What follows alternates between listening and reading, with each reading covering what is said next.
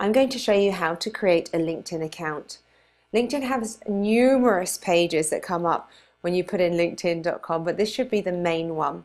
So linkedin.com and it brings you to a site so where you can sign in if you already have an account or you can set up a new one.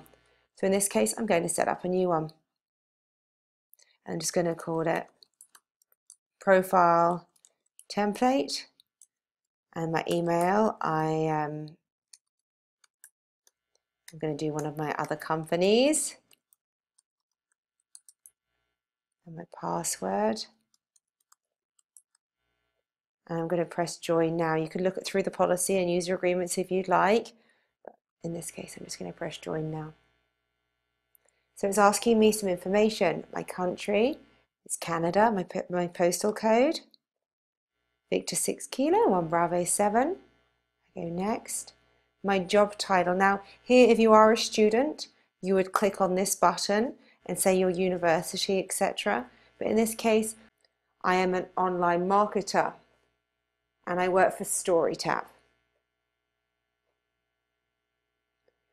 For the industry, just think of it, um, which keyword or industry would your prospects associate with you?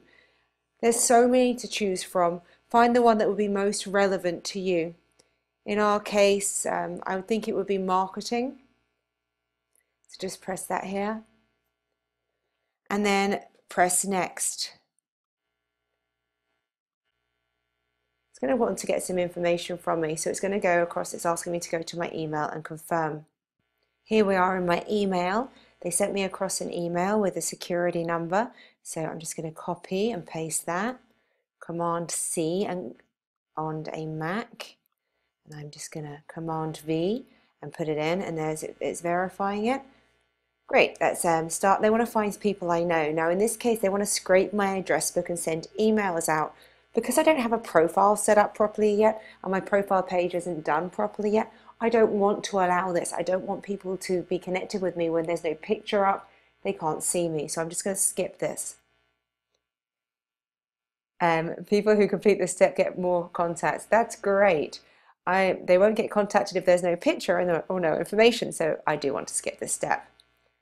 Um, I'm just, again, it's really pushing because it wants me to connect with as many people as possible, but I'm going to skip this for now. So what we do is we go through the process and this is where we actually do the profile makeover about choosing a picture, etc. But for now, you have an account, you can actually go straight through and I could just get, um, I can get an app if I would choose to and get it on my phone. And here I am in my LinkedIn profile. If you have any questions or comments, please leave them below.